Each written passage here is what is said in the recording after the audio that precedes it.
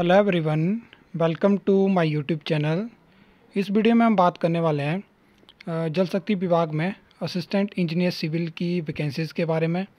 तो इसका आपको पता है कि अक्टूबर में आपको एग्ज़ाम देखने को मिल जाएगा, जिसमें कि 11 पोस्टें हैं और 2019 से ये पोस्टें फिल हो रही हैं और 2023 में हम पहुँच चुके हैं। और इनकी रिक्वेजिशन भी 2021 जनवरी के टाइम की Himachal Pradesh public service commission Shimla के पास पहुँच गई थी।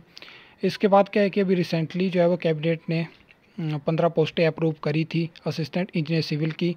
तो उसके बारे में बहुत सारे कमेंट आ रहे थे कि क्या वो पोस्टें जो है वो डिपार्टमेंट ने Himachal Pradesh public service commission Shimla भेज दी हैं। तो उसके बारे में आपको बताने वाला हूँ कि जल्दी आपको वो वैकेंसी देखने को मिल सकती है। और डिपार्टमेंट ने वो वैकेंसी जो है वो Himachal Pradesh public service commission Shimla भेज दी है। लेकिन यहाँ पे लेटेस्ट आर है। दो दिन पहले की आर रिप्लाई लेकिन यहाँ पे इन्होंने नहीं बताया ऐसा कि जो पंद्रह पोस्टें हैं वो हमने भेज दी हैं इन्होंने बताया कि ये मैटर जो है वो प्रोसेस में है जो कि लास्ट दो आर में मैं आप, आपको बता चुका हूँ। लेकिन यहाँ पे आप ये मान के चल सकते हो कि आपको वैकेंसी देखने को मिल जाएगी।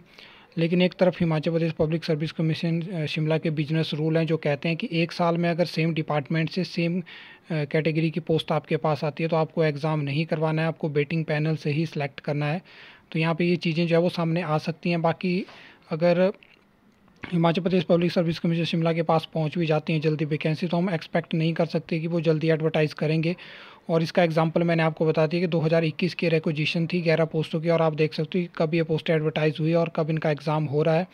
इसके अलावा नवंबर 2022 से उनके पास अलाइट की वैकेंसी है और वहाँ भी आप देख सकते हो कि अभी तक हमें एडवर्टाइजमेंट ही देखने को नहीं मिली है।